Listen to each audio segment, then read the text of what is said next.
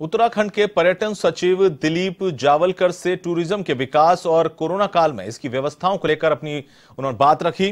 पर्यटन क्षेत्र के कार्यों और विकास को लेकर देहरादून ब्यूरो हेड चंदन कुमार झा ने पर्यटन सचिव दिलीप जावलकर से की खास बातचीत। उत्तराखंड पर्यटन विभाग के सचिव दिलीप जावलकर साहब हमारे साथ हैं। उत्तराखंड में किस तरह से पर्यटन का विकास हो रहा है और क्या कुछ नई योजनाएँ उत्तराखंड में हो रही है, इसके बारे में बात करेंगे। तो सीधे चलते हैं पर्यटन सचिव दिलीप जावलकर साहब के पास। सर बहुत बहुत स्वागत है ए वन टीवी पे आपका। पहला सवाल, क्या कुछ नया हो रहा है सर, ताकि पूरे देश का रुझान उत्तराखंड की तरफ़ देखे और उत्तराखंड में लोग आए? देखिए, महत्वपूर्ण बात यह है कि उत्तराखंड जैसे बाकी सभी राज्य भी जो है कोरोना से अभी उभर रहे हैं। और हमारे राज्य में भी यही प्रयास मुख्यतः किया जा रहा है कि कोरोना संबंध में जो डर है, जो भय है, उसको दूर कर लिया जाए। कोरोना का काफ़ी हद तक जब तक हमारा इम्यूनाइजेशन प्रक्रिया पूरी नहीं होती है, तब तक जो है हमें कोरोना के साथ रहना है। लेकिन एक विशेष प्रोटोकॉल का अगर हम लोग पालन करते हैं तो उसमें फिर हम लोगों की रिस्क काफ़ी कम हो जाती है। हमारे यहाँ पर होटेलियर्स हो या फिर बाकी पर्यटन से जुड़े हुए सभी हित संबंधी व्यक्ति है, इनके द्वारा काफ़ी इस संदर्भ में अच्छा कार्य किया गया है और जिसके चलते हमने देखा कि जब भी ये कोरोना के बाद जब पर्यटन सामान्य लोगों के लिए जब खुल गया था तो यहाँ पर बहुत ही अच्छा रिस्पॉन्स रहा है और उसके चलते पर्यटन विभाग को फिर से पर्यटन की गतिविधियाँ काफ़ी हद तक बढ़ी हुई है। अगर कुछ नए की अगर हम लोग बात करें तो ज़रूर है कि हम लोगों का जो अभी शिफ्ट जो कर रहे हैं हम लोग टूरिज़्म हमारे यहाँ पर स्पिरिचुअलिटी और रिलीजन के लिए तो लोग आते ही आते हैं। 2019 में कोरोना काल के पहले का जो वर्ष रहा, तब हमारे यहाँ पर रिकॉर्ड ब्रेकिंग यात्रा चली, जिसमें चौंतीस लाख से ज़्यादा लोगों ने यात्रा करी उस साल में, जो अब तक का सर्वाधिक रिकॉर्ड रहा। केदारनाथ धाम, बद्रीनाथ धाम पर विशेषकर माननीय प्रधानमंत्री जी का फोकस है। ये दोनों धामों में व्यवस्थाएँ काफ़ी अच्छी सुधार ली गई है और उसके चलते इस जगह पर भी जो यात्रा के लिए विज़िट करते हैं, उनकी संख्या में बहुत बढ़ोतरी हुई है।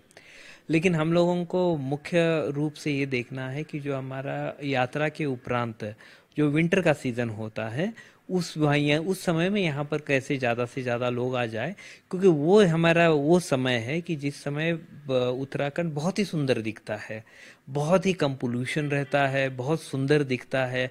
आपको हिमाचादित शिखरों का उस समय में बहुत अच्छा दर्शन होता है। आपको बहुत पेड़ पौधे हरे भरे रहते हैं। आपके यहाँ पर काफ़ी बर्ड्स आती है।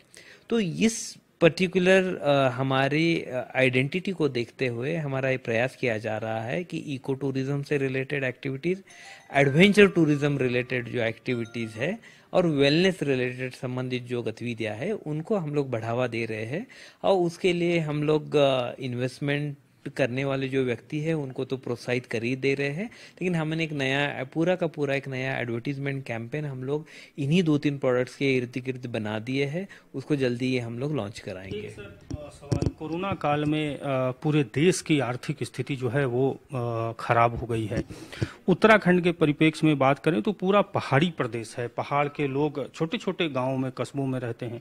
तो उनके गाँवों में उनके कस्बों में किस तरह से हम पर्यटन को डेवलप करें ताकि उन, उन उनको जो है उनको भी रोज़गार मिले और हम सिर्फ़ पर्यटन सीज़न पर ही ना रहें बल्कि सालों भर उनका जो है उनको कुछ ना कुछ मिलता रहे। यही मुख्य फोकस है अभी हमारी जो गतिविधियाँ चल रही है उनका। और इसका कारण ये है कि हम लोग शहरों से दूर लोग आना चाह रहे हैं। कोविड के चलते भी लोग चाह रहे हैं कि हम लोग कम भीड़ भड़ाके वाली जगह पर जाए। दूसरा, बहुत सारी जगह पर वर्क फ्रॉम होम जैसी कंसेप्ट जब से आए हैं, तब से लोग कह रहे हैं कि जहाँ पर भी हम लोगों को घर के जैसा माहौल मिले, लेकिन अच्छी नेटवर्क और अन्य सुविधाएँ हो, वहाँ पर हम लोग कहीं पर भी जाके काम करने के लिए तैयार रहेंगे। तो ये अभी पूरा इंडस्ट्री में जो टेस्ट है, वो पूरा बदल रहा है। इंडस्ट्री की डिमांड जो थी, उसके चलते बहुत बदल दे रही है। तो इसलिए बहुत ज़रूरी है कि हम लोगों को जो भी नियोजन करेंगे, वो हम लोगों को उस तरीके से, जिस तरह के आने वाले चार पाँच साल में एक आध दशक में किस प्रकार के हम लोगों के यहाँ पर क्लाइंट्स आने के लिए इच्छुक है, उसके हिसाब से नियोजन करने की आवश्यक है, आवश्यकता है। उसी को देखते हुए एडवेंचर टूरिज़्म और वेलनेस टूरिज़्म पर काफ़ी फोकस दिया जा रहा है। किस तरह से उत्तराखंड में छोटे छोटे पॉकेट बना करके पूरे देश और दुनिया का नज़र उत्तराखंड के ऊपर दिया जा रहा है। कैमरामैन नितिन के साथ चंदन कुमार झा एवन टीवी देहरादून।